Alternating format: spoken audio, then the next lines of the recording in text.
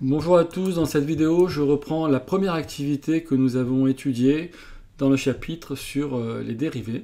Dans cette euh, activité, on considérait euh, un objet qui est lâché du haut d'un immeuble sans vitesse initiale.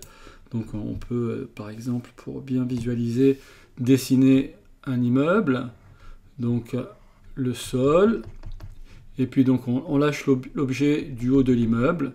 À l'instant t égale 0 secondes. Et sa hauteur, bah, c'est la fonction qu'on va appeler petit f ici. Hein. C'est f de 0, f à l'instant 0 secondes, et elle vaut 0 mètres. D'accord? Alors l'objet va, poursuivre une, trajectoire verticale. Quand vous lâchez un objet, ben, sa trajectoire est verticale, et au bout d'une seconde, quand t est égal une seconde, on va mesurer euh, sa position et sa position c'est 5 mètres. Donc on a f de 1 seconde égale 5 mètres. On prend après, on fait une photo au bout de 2 secondes et au bout de 2 secondes, on s'aperçoit que l'objet, eh bien, il s'est déplacé, il est maintenant à la position 20 mètres. Donc euh, il faut imaginer qu'on a un axe, euh, les positions sont mesurées à partir d'un axe vertical euh, dirigé vers le bas. Alors cet axe, on peut l'appeler Y par exemple. Alors quand t égale 0 secondes, eh bien, je vais mettre l'origine de mon axe ici. Et puis nous avons 1 mètre ici, 5 euh, mètres pardon ici, 5 mètres. Et là, il a fait 20 mètres, donc 4 euh, intervalles comme ça. Voilà. Ici se retrouve à une distance de 20 mètres. À l'instant t égale 2 secondes. f de 2 secondes égale 20 mètres. Et on fait la même chose au bout de 3 secondes, on mesure que bah, la position est à 45 mètres et au bout de 4 secondes, sa position est 80 mètres. On voit donc à chaque fois, euh, pour un même intervalle de temps, eh bien, notre objet va parcourir une plus grande distance, ce qui veut dire que sa vitesse augmente. C'est bien ce qu'on observe quand on lâche un objet, la vitesse augmente, sa vitesse de chute augmente. Et on va essayer de trouver une relation entre la, distance, euh, enfin, entre l'instant euh, considéré et puis donc la position de euh, l'objet à cet instant. Et on remarque que si on fait 2 au carré, ça fait 4, 4 fois 5, ça fait 20, 3 au carré, ça fait 9, 9 fois 5, toujours, ça fait 45, 4 au carré, ça fait 16, et fois 5, ça fait 80. Donc on s'aperçoit en réalité que la position de l'objet est proportionnelle au carré de l'instant considéré. Et euh, le coefficient de proportionnalité est égal à 5. Donc voilà, on, trouve comme ça l'expression. Hein. donc c'est vraiment quelque chose qu'on pourrait reproduire quasiment. Donc on ne trouverait pas exactement le, facteur 5 si on reproduit ça sur Terre, avec euh, un objet qui permet de négliger les frottements de l'air, c'est-à-dire un objet relativement lourd et, euh, petit. Donc si vous lâchez cet objet euh, de grande densité à la surface de la Terre, du haut d'un immeuble, ben, il, va, il va quasiment vérifier cette relation ici on n'aura pas 5, on aura 4,8. D'accord? 4,9 plutôt. Mais euh, voilà, euh, on simplifie ici pour, euh, bah, pour simplifier aussi la présentation de cet exercice. Et on va, on va voir à quoi correspond ce, 5 ou ce 4,9 qui est là. Alors, qu'est-ce qu'on veut? On veut mesurer la vitesse à un instant donné de l'objet. Et on, voit, on sait que cette vitesse augmente.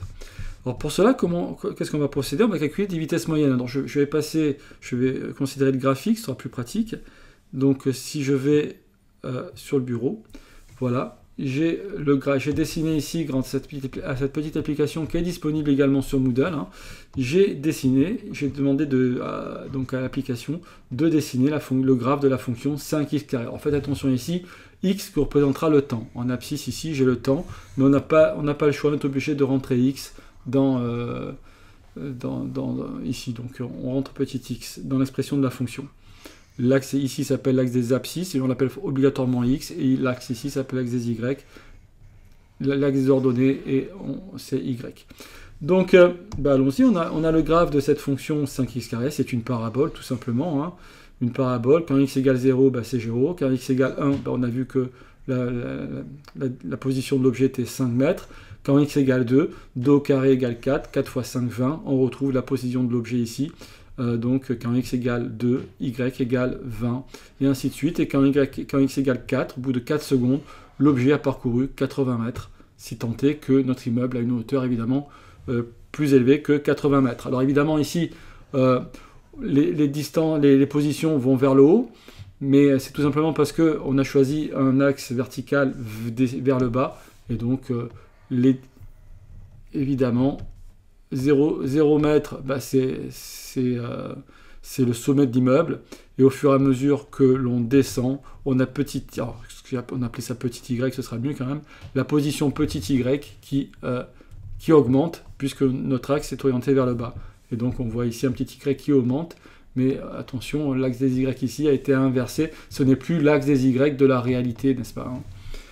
Ici, on a vraiment, euh, visuellement, il y a, l'immeuble et on voit cet axe Y qui, peut être représenté physiquement.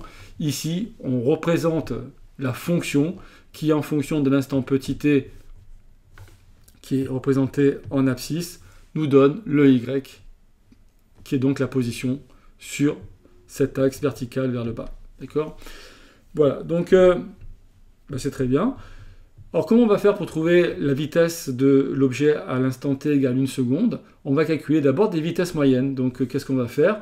On va dire voilà, entre l'instant 1 seconde et l'instant 4 secondes, ben, mon objet il est passé de la position 5 mètres à la position 80 mètres. Donc il est descendu de 80 mètres ici. Hein.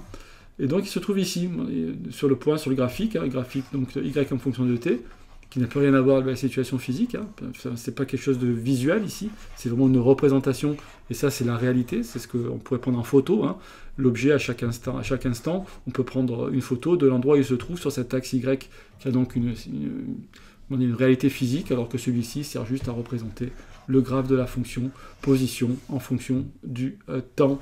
Et donc au bout de t, à t égale 4 secondes, et eh bien sa position c'est 80 mètres, donc ici et alors, la distance, bah, la, variation de position, ça va être quoi? C'est 80 mètres moins 5 mètres. C'est-à-dire, bah, c'est le delta y qu'il y a ici. Donc, si vous voulez, si je prends euh, le stylet, on peut, en fait, ici, le calcul qui est fait ici, ce qu'on appelle taux d'accroissement ou également taux de variation de la fonction, ben, c'est tout simplement la variation de position, c'est-à-dire la position à l'instant 4 secondes moins la position à l'instant 1 seconde, divisé par 4 secondes moins 1 seconde. Ceci s'appelle le taux d'accroissement de la fonction petit f entre quand la variable varie de 1 seconde à 4 secondes. Ici, évidemment, en abscisse, on a la variable, et en y, on a ce qu'on appelle les ordonnées ou les images. Hein, quand on parle vraiment dans le vocabulaire des fonctions, on a variable et image. Et puis abscisse ou ordonnée quand on fait euh, le euh, graphique. Voilà, donc euh, on a ça, et ça, ça représente quoi physiquement? Ça représente la vitesse moyenne de notre objet entre l'instant t égale 1 seconde et l'instant t égale 4 secondes. C'est la vitesse moyenne entre l'instant 1 seconde et l'instant 4 secondes. Cette vitesse moyenne, on l'a calculée dans l'activité, ben, c'est 25, mètres par seconde. Ici, on a des mètres par seconde, puisqu'en haut, on a une variation de position en mètres, et en bas, une variation de temps en secondes. Donc, c'est une vitesse moyenne. Mais moi, ce qui m'intéresse, c'est pas la vitesse moyenne entre ces deux instants. Moi, ce que je veux connaître, c'est la vitesse à l'instant t égale 1 seconde. Alors, c'est quoi le principe? Et ce qui va nous amener à la notion de dérivée? Ben, on, va, faire approcher le point grand B, ici, du point grand A. Et c'est ce qu'on a fait dans l'activité. Donc, on a, on fait d'abord, on a pris t égale 3 secondes. Donc quand t égale 3 secondes, ben, on, calcule une vitesse moyenne d'environ 20 mètres par seconde. On avait, fait ça dans l'activité. Et là, effectivement, hein, quand, t égale 3 secondes, sa position, si on revient sur à l'instant t égale 3 secondes, la position c'est 45 mètres. Donc effectivement, c'est bien ce qu'on observe sur le graphique. Quand t égale 3 secondes, quand t égale 3 secondes, on a bien un y, une position qui vaut 45 mètres donc il se situe ici à 45 mètres euh, du haut de l'immeuble. Il n'a pas couru 45 mètres depuis le début de sa chute à l'instant t égale 0 seconde. Et alors si je fais 45 moins 5, j'obtiens 40. 40 divisé par 3 moins 2, c'est-à-dire 40 divisé par 2, j'obtiens bien 20 mètres par seconde. Et comme ça, on va continuer, on va déplacer le point grand B. Et au fur et à mesure qu'on déplace le point grand B, eh bien, la vitesse moyenne que l'on calcule se rapproche de la vitesse de l'objet à l'instant t égale une seconde. Et donc il faut chercher la limite quand le point B se rapproche du point A. Donc quand B tend vers A, la limite quand B tend vers A de ce taux d'accroissement, de ce taux de variation, va nous donner la vitesse de l'objet à l'instant t égale une seconde. Et ça va nous donner ce qu'on appelle la dérivée, le nombre dérivé de la fonction petit f au point d'abscisse 1. Donc la, vitesse à l'instant t égale une seconde, c'est tout simplement la valeur de la fonction dérivée de petit f à l'instant t égale une seconde. D'accord? Donc ça, c'est quelque chose de très important.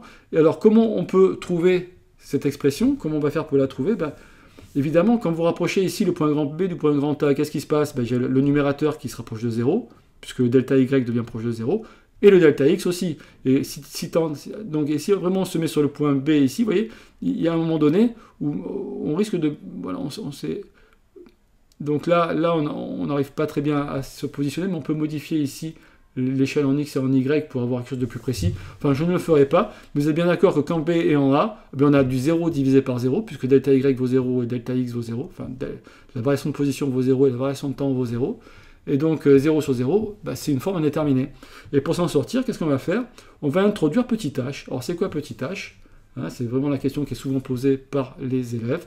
Eh bien petit h, c'est la, différence entre l'instant qui correspond à B, au point grand B, et l'instant qui correspond au point grand A. Ici, on a TA qui est égal à une seconde. Hein.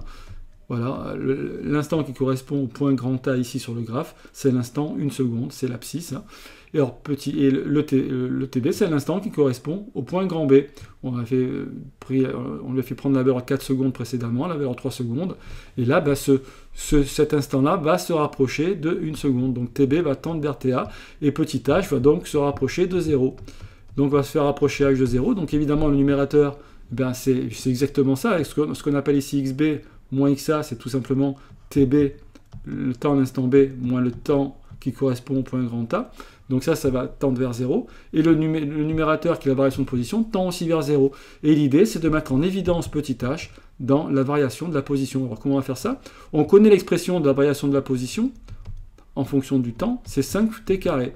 C'est ce qu'on a remarqué tout à l'heure, quand on a, on a, pris des photos toutes les secondes, et on a vu qu'effectivement, au bout d'une seconde, notre objet s'était déplacé de 5 mètres, au bout de 2 secondes, 2 fois 2, 4 fois 5, s'était déplacé de 20 mètres, donc c'est tout à fait cohérent.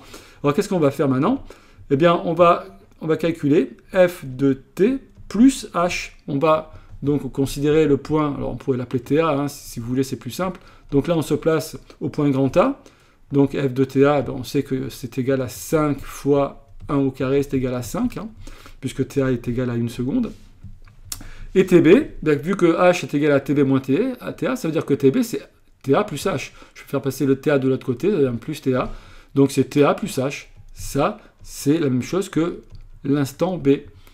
Et ça, ça va être égal à quoi? À 5 fois ben, TA plus H au carré. Et donc on va distribuer tout ça. Donc ça fait 5 fois. Déjà, on va développer le carré ici. Donc c'est TA au carré. Alors souvent, on, oublie de mettre l'indice grand A pour avoir des notations un peu plus simples. Donc on n'est pas obligé de mettre l'indice grand A ici quand on fait les calculs pour calculer la dérivée de petit f. Hein. C'est beaucoup, voilà, on, évite cette lourdeur d'écriture. Donc, mais là, on, l'a fait parce qu'on est vraiment dans une situation physique bien précise, et donc euh, c'est bien de donner du sens à ces différentes lettres. Donc c'est TA carré plus le double produit, 2 fois H fois TA plus H carré. Puis on distribue le 5. Donc ça c'est F de TB évidemment. Hein. donc euh, qui est la même chose que TA plus H. On distribue et donc on trouve que F de TB, TB encore une fois c'est TA plus H, ben, c'est égal à 5 fois TA carré plus 10 fois H fois TA plus 5 fois H carré. Et alors vous voyez, qu'est-ce qu'on va faire maintenant? On va calculer la variation de position entre ces deux instants, TB et TA. Donc on va, on va prendre cette quantité-là, je vais changer de couleur. Non, on ne peut pas changer de couleur là-dessus, donc je ne change pas de couleur. Je vais calculer f de TB moins f de TA, c'est-à-dire le numérateur de, du taux d'accroissement. Et donc on va avoir une simplification qui se produit. Hein. donc le 5 fois TA carré ici, moins euh, le 5 fois TA carré qui est là, donc ça va, ça va s'annuler. Il va nous rester 10 fois h fois ta plus 5 fois h au carré. Il va nous rester juste cette partie ici. D'accord? F de tb, bah, c'est tout ça, mais moins ce truc-là. Eh ces, deux, ces deux quantités vont s'annuler. Il ne reste plus que ceci. Et là, bah, on a gagné finalement, puisqu'on va, pouvoir mettre petit h en évidence et faire disparaître la forme indéterminée 0 divisé par 0, puisqu'on va pouvoir sortir ben, la valeur qui vaut 0, c'est petit h, on va pouvoir la sortir, la factoriser, au, enfin, donc la mettre en évidence au niveau du numérateur, et la simplifier donc avec euh, ben, son existe, avec euh, ben, le, le dénominateur qui vaut également petit h, dans lequel petit h apparaît. Faisons-le, hein, c'est encore plus simple de le faire que d'en parler. C'est 10 fois TA plus 5 fois h, donc j'ai bien isolé. Alors maintenant, si je calcule mon taux d'accroissement, hein, donc euh, ce, truc-là, c'est F2, donc c'est delta Y sur delta X tout simplement. Hein. C'est F2, donc euh, TB moins F2 TA sur TB moins TA. Eh bien, ça va être égal à H fois ou f de t plus h moins f de t. Hein. C'est comme ça qu'on le note. Et puis là, on fait petit h ici. Hein. Faut rappeler, dans, quand on a calculé les dérivés des différentes fonctions, on n'écrivait pas, pas t bon, on écrivait t plus h. On n'écrivait pas t, on écrivait petit t, tout simplement. Donc ça fait h fois 10 fois ta plus 5h divisé par h. Et donc là, se simplifie. Et maintenant, ben, pour connaître la vitesse à un instant ta, ben, il suffit que je fasse tendre h vers 0. Évidemment, j'ai enlevé l'indétermination, donc j'aurais plus du 0 divisé par 0, puisque je peux simplifier ces deux zéros qui sont là, ce sont les mêmes. Il va me rester que la limite, quand h tend vers 0, bah, de delta y sur delta x, du taux d'accroissement, du taux de variation, c'est pareil, hein, on peut appeler ça taux d'accroissement ou taux de variation, eh bien c'est 10 fois ta plus 5 fois 0, enfin 5 fois h, 5 fois 0, puisque là je récupère la limite, donc je peux ne pas réécrire la limite ici, mais à, condition de remplacer évidemment h par 0. Et donc ça nous fait 10 fois ta.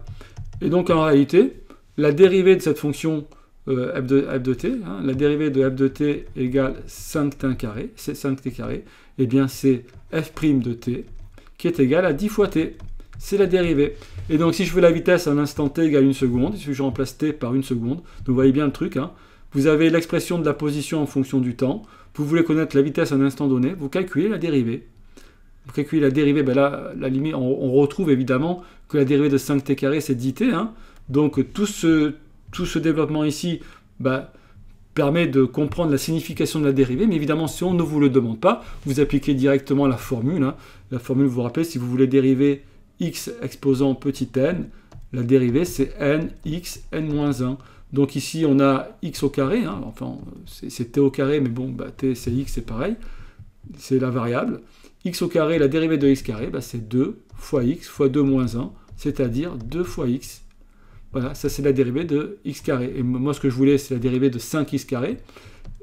La dérivée de 5x carré, bah, ce qu'on sait, c'est que quand on multiplie par un nombre, bah, le nombre, on peut le sortir. Donc c'est 5 fois la dérivée de x carré. Et donc c'est 5 fois 2x, c'est-à-dire 10x. C'est bien, bien la dérivée de ma fonction 5x euh, carré. Donc ici, la dérivée de 5t carré, ben, c'est 10t. J'ai juste remplacé t par x. J'ai appelé la variable. Je n'ai pas appelé x, je l'ai appelé t. C'est juste ça. ça, ne, c'est pas grand-chose. Et donc, euh, ben, ce qu'on peut faire, c'est afficher, utiliser la possibilité de tracer. On a la possibilité ici, avec cette application, de tracer un deuxième graphe. Mais on va tracer le graphe de la dérivée. Donc, je vais rentrer ici l'expression de la dérivée. Donc, g de x, ça va être f' de x en réalité. Et f' de x, eh bien, c'est 10 fois puisque là, évidemment, quand je rentre les... Euh, et je vais demander d'afficher ce deuxième graphe. On a ici le graphe de la dérivée. Quand t égale une seconde, et eh bien évidemment, la vitesse à l'instant t égale une seconde, c'est 10. Et effectivement, si vous rapprochez le point grand B du point grand A ici, vous voyez que le nombre qui est là, le nombre qui est ici, quand on, approche B de grand A, ben, se rapproche de 10 qui est bien la, vitesse à l'instant t égale une seconde, et qui est bien la valeur de la dérivée de la fonction quand t est égal à 1. Regardez bien, hein, je, vais, je, vais le faire, je vais faire se déplacer ici, et ça fait bien ceci. Ça se rapproche bien de 10. Alors si on veut par exemple la, la, vitesse à l'instant t égale 2 secondes, ben, je place le point grand A cette fois à 2 secondes, à t égale 2 secondes, donc l'abscisse c'est 2 secondes pour le point grand A. Maintenant je suis à l'instant t égale 2 secondes. La vitesse à cet instant ce sera 10 fois 2, 20 mètres par seconde. Donc si j'approche B de A, bien je dois, cette quantité qui est ici doit se rapprocher de 20 euh, secondes. Alors je peux peut-être un peu effacer ici pour que vous voyez mieux le, nombre. Donc euh, si je euh, j'approche B de grand A, ben, ce nombre s'approche de 20. On est bien d'accord. Vous voyez, c'est exactement ça. Vous voyez comment on obtient la dérivée. Et en réalité, la droite qui est la droite AB ici se rapproche de la droite qui est la plus proche du graphe au point considéré. Et cette droite, c'est la tangente. Hein. Euh, qu'on manipulera après. Donc évidemment, si t égale 3 secondes, par exemple, hein, encore, on peut continuer, hein, t égale 3 secondes, eh bien 10 fois 3 ça fait 30, donc quand je rapproche B de A, ben, je devrais, ce nombre-là se rapproche de 30, la vitesse, et c'est la pente, donc c'est la pente, hein, puisque vous voyez bien, hein, ce que j'ai calculé le taux d'accroissement, c'est delta y sur delta x, c'est la pente de la droite AB, c'est la pente de cette droite qui se rapproche de plus de euh, la vitesse de l'objet à l'instant t égale 3 secondes ici, c'est-à-dire 30 mètres par seconde. Et cette droite qui est donc euh, la droite AB se rapproche de plus en plus d'une droite qu'on appelle la tangente. Je vais masquer la droite AB et je vais afficher directement la tangente au point considéré. Vous voyez, ça c'est la tangente. Vous voyez la tangente à chaque fois au point grand A ici. Et évidemment, au départ, eh bien, quand t égale 0 secondes, mon objet a une vitesse égale à 0 et la tangente est horizontale puisque la pente est égale à 0, la, vitesse est égale à 0, la pente est égale à 0. J'ai bien une droite horizontale qui est la droite la plus proche à l'instant t égale 0 secondes. Voyez et on a une vitesse qui augmente de plus en plus, mais qui augmente pas de n'importe quelle manière, elle, augmente linéairement. Donc, et on pourrait voir que la pente de cette droite, eh c'est ce qu'on appelle l'accélération, c'est-à-dire 10 mètres par seconde au carré. En réalité, si on, si on, si on considère que l'objet est quasiment en chute libre, qui n'est soumis qu'à son poids, et eh bien évidemment le disque est là, ben, c'est 9,81, hein. c'est petit g, c'est 9,81 euh, newton par kilo. C'est aussi, c'est égal à l'accélération de euh, mon objet en chute libre au voisinage évidemment de euh, la Terre. Vous changez de planète, petit g va changer et l'accélération va changer évidemment. Ou si vous allez monter en altitude, petit g va diminuer et donc euh, l'accélération de votre objet va diminuer mais elle reste constante parce qu'on peut considérer sur un voisinage assez proche, si on reste sur un mouvement localisé, on peut considérer que g est constant, que la force qui agit sur votre objet est constante et donc l'accélération que subit votre objet est également constante. Et ici, donc, elle serait égale à 10 mètres par seconde au carré. Donc vous voyez le lien entre le 5 et le 10 ici. Hein. Ici, on retrouve un demi de l'accélération, évidemment. Et donc la variation de position est proportionnelle au carré de la variation de temps. Et le coefficient de proportionnalité, c'est l'accélération divisé par 2. Euh, qu'est-ce que je voulais encore raconter euh, dans euh, cette vidéo?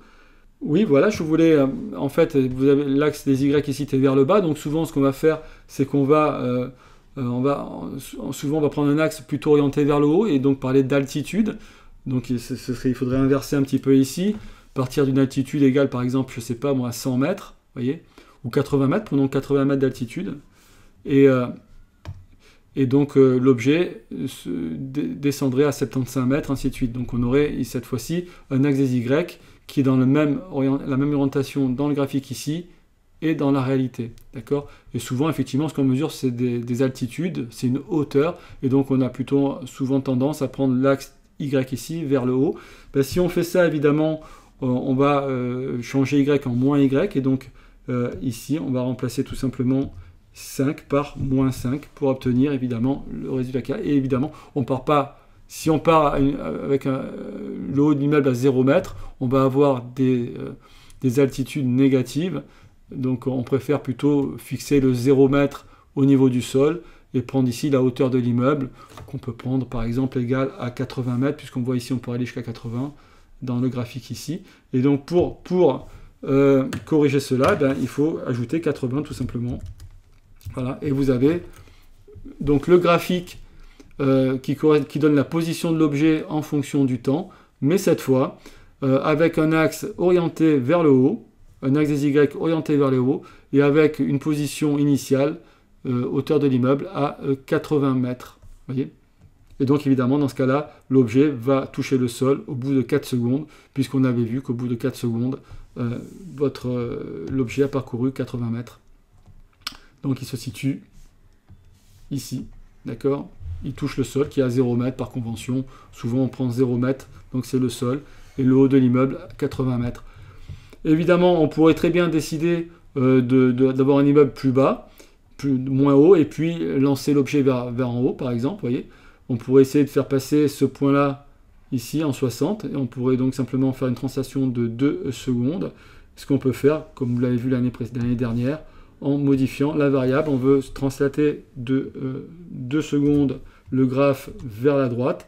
Donc on ajoute moins 2 à la variable. Et donc on obtient cette fonction-là, voilà. Et ici, vous avez un objet qui est lâché à l'instant t égale 0 secondes d'un immeuble situé à 60 mètres de hauteur. Eh bien, il va monter jusqu'à l'altitude maximale. Évidemment, à l'altitude maximale, sa vitesse est nulle. Et donc ça, ça, va se produire à l'instant t égale 2 secondes ici. quand t égale 2 secondes, on est à la, le y80 ici maximum, puisqu'à chaque fois on a 80 plus une grandeur ici qui est négative, puisque là j'ai un carré, donc ça c'est 80 c'est sa hauteur maximale, et puis après bah, l'objet va, euh, va, redescendre. Donc euh, si on, avait un axe vertical ici, ben, il, est, dessiné là. D'ailleurs, donc l'objet euh, il est ici, je le lance verticalement vers le haut, attention, hein, verticalement vers le haut, donc il va monter jusqu'à 80 mètres, et puis après, il redescend, et il atteint donc euh, le sol à l'instant t égale cette fois 6 secondes, puisque là, cette fois, je vais lâcher vers le haut, donc il a, ce trajet-là, on fera plus, il va monter de 20 mètres, et puis descendre de 20 mètres, et enfin descendre de 80 mètres par après.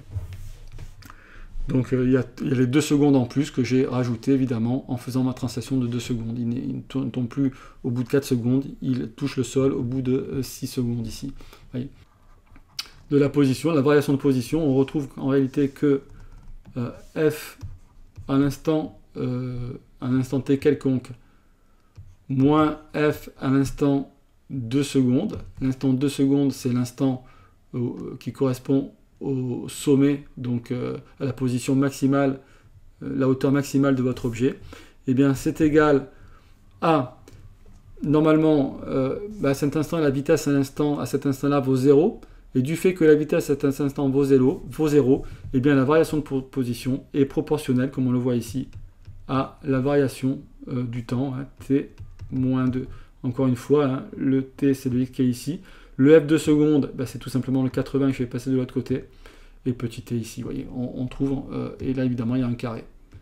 Donc la variation de position est proportionnelle au carré des variations de temps. En réalité, c'est aussi ce qu'exprimait l'expression précédente. Hein. la variation de position est proportionnelle au carré de la variation du temps quand la vitesse, euh, la vitesse à un instant 2 secondes, hein, donc la vitesse qui correspond à ce nombre ici, à l'instant 2 secondes, est également égal, est, effectivement égal à 0. Dans ce cadre-là, si on prend ici, si on se base vraiment par rapport à ce, sommet ici, eh bien, on a une proportionnalité entre la variation de position et le, carré des variations de e temps. Voilà. Eh bien, là, j'ai vraiment dit beaucoup plus que ce qui vous intéressait euh, dans le cadre euh, du cours de mathématiques, mais pour ceux qui verraient cette vidéo dans le cadre du cours de la physique, ben ça, ça doit vous parler, hein, puisqu'évidemment, il faut faire le lien avec ce qu'on connaît comme, euh, comme formule, c'est-à-dire xt2 moins xt1, c'est égal à vt1, la vitesse à l'instant t1, fois t2 moins t1, plus 1 demi de petit a, t2 moins t1 au carré. Évidemment, si je prends vt1 égale 0, ce qui est le cas quand t égale 2 secondes, et donc ben, j'obtiens que la variation de position est proportionnelle au carré de la variation euh, du temps. Et c'était du reste ce que l'on avait ici, puisque on démarre, notre référence est t égale 0, et à t égale 0, ben, quand je lâche l'objet, on dit bien qu'on me lâche sa vitesse initiale, et c'est parce que la vitesse initiale vaut 0 à l'instant t égale 0 secondes qu'on a bien cette proportionnalité ici entre la variation de position et le carré de la variation du temps. Ben, je vous remercie de votre attention.